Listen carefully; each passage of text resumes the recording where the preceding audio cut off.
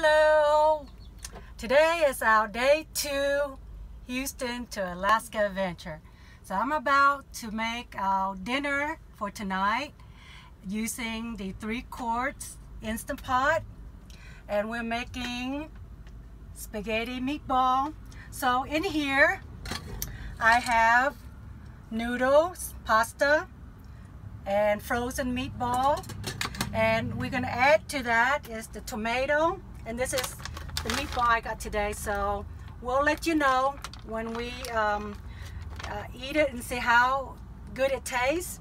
And also the marinara sauce and the chicken broth. So as you all know Instant Pot is a pressure cooker. It needs at least one cup of liquid. So this will be my liquid uh, requirement for the Instant Pot so into the pot, we're gonna add the tomato,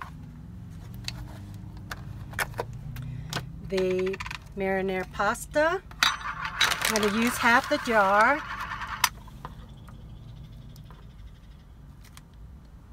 Okay. And the liquid is we would like the chicken broth. Hopefully add some flavor. Fill it up to to where the pasta is. Let me give it a shake. Make sure we fill up the liquid to the pasta. That way. Uh, come closer. We want to see the liquid um, fill up to the...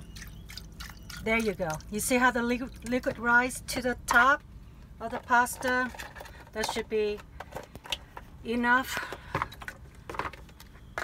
for instant pot and we're gonna put it on.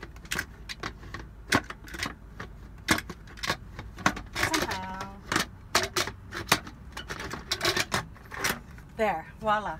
And we are gonna plug into our 110 here. And we're gonna set it for pasta chicken. Well we're gonna do 15 minutes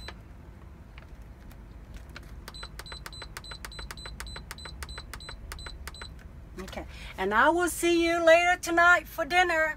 See you then. Bye. We're gonna start dinner.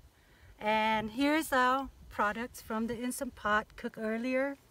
So I'm gonna serve dinner for everybody. Uh, look pretty yummy, but we'll see how it tastes. Okay, for you, Norman. Know how long? This cook about 15 minutes with natural release until the um, vent is automatic down, which is 30 minutes. Why don't you eat and see how it tastes?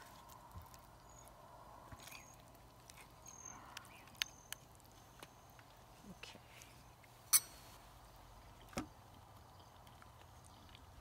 Okay. It's spaghetti, but not. It's, it's good.